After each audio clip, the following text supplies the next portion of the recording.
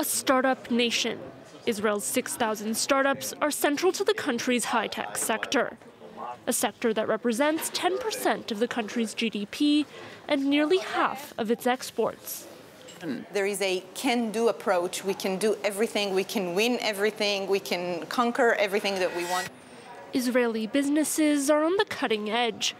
The GPS app Waze, developed in Israel, was bought out by Google for a billion dollars. Israel has even sent a probe to the moon, scheduled to land on Thursday.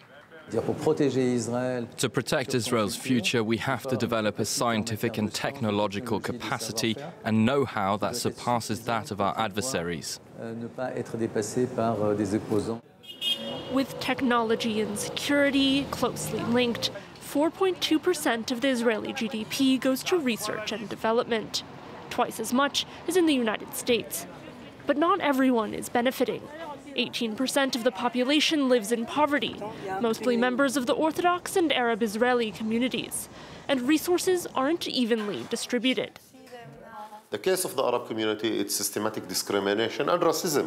The funding that the government is allocating to Arab villages and cities created a huge gap in the services, in the educational services.